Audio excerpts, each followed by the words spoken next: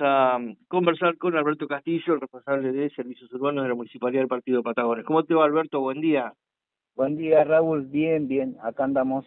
Bueno, te, hemos llamado porque en realidad eh, hemos tenido alguna conversación con algunos vecinos que están preocupados por el estado del camino que conduce desde Carmen de Patagones a Guardiamitre, lo que se conoce como el Camino del Meridiano.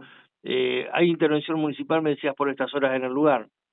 Sí, estamos justamente en el lugar trabajando, salimos a recorrer. Nosotros ya habíamos venido el martes y vimos que había un par de sectores que tenían mucho agua.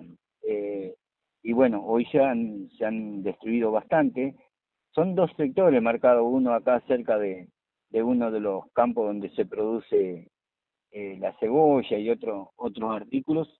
Eh, se han producido unos, unos pozos importantes que, que hay agua y si uno no viene con precaución eh, puede que sufra alguna rotura. Pero bueno, estamos haciendo un desvío para que pueda circular eh, la gente, los vehículos y nosotros poder trabajar tranquilamente.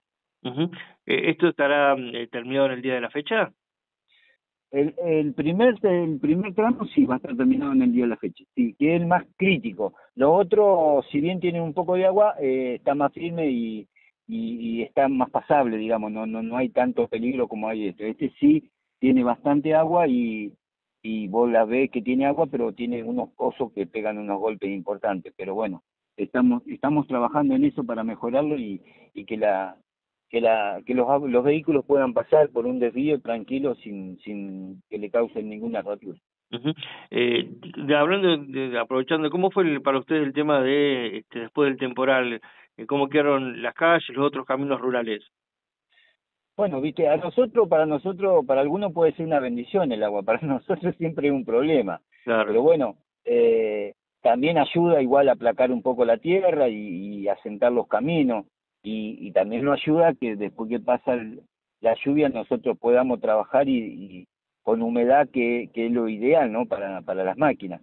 Eh, hemos trabajado, estamos trabajando en el camino a y tenemos dos máquinas, eh, hemos hecho parte del camino de, de, la baliza, en el, en el pueblo estamos haciendo repasos, ya hicimos lo que es Massini, Villarrita, Morando, y bueno, vamos a seguir en el día de hoy.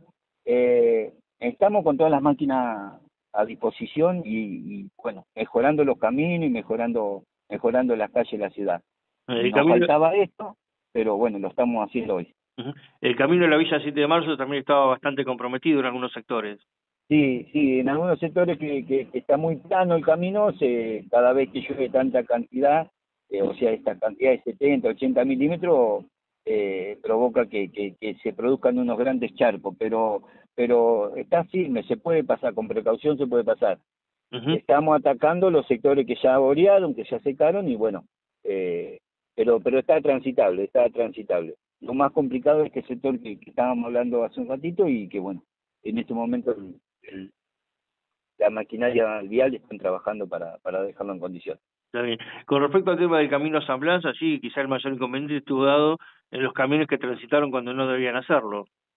Tal cual, tal cual, eh, justamente ayer nos llegó una actuación de ahí del juzgado de, falta, eh, porque este vehículo, este camión, que, es de público conocimiento, que, que, que transitó el día de lluvia y que, que destrozó el camino, el trabajo que estábamos haciendo, bueno, eh, se le lograron algunas actas, se le va a cobrar multa, así que el juzgado de falta a nosotros nos, nos mandó pidiendo un informe de los gastos que acarrea reparar ese sector eh, pero bueno, siempre hay algunos imprudentes que, que no creo que desconozcan porque cada vez que uno saca el carnet o renueva el carnet, eh, tiene que estudiar y sabe que después de la lluvia, por lo menos los vehículos pesados no pueden andar por ciertos lugares.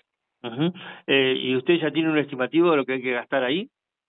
No, ayer eh, no llegó la cédula, digamos, para pedir el informe, así que bueno, ahí el, el, el el responsable del área bien eh, está haciendo los números para poder pasar al juzgado y, y después ellos le hablar el acta al, a la persona o al vehículo que, que ingresó al camino ciudad. Ahí lo, lo que se deduce por lo que me está diciendo es que si ustedes le dicen eh, que el, costo es elevado, ese costo más la multa por haber transitado este, de forma irregular un día que no se podía, digo, ¿le va a costar una moneda al camionero la imprudencia? Y entiendo que sí, eh, más allá de lo de la multa, de eh, el informe que, estamos pasando nosotros, eh, de que él destruyó 15 kilómetros del camino que estaba nuevo. Claro. Eh, eh son 15 de ida y 15 de vuelta, así que es lo que le va a llevar o le van a cobrar de multa. Pero pero bueno, lamentablemente ahora sí porque no, no. Eh, la gente tiene que tomar conciencia que más los vehículos pesados, uno entiende lo, los lugareños de ahí de San Blas que ellos tienen que llegar a su a su casa, pero pero bueno, los vehículos pesados ellos saben que, que después de la lluvia o cuando está lloviendo no pueden transitar por esos caminos. Seguro. Eh, Alberto, te agradezco que me hayas atendido y me apunta si puedes quedar por línea privada. Bueno, dale. gracias por atendernos. No, por favor. Alberto Castillo en la mañana de la radio.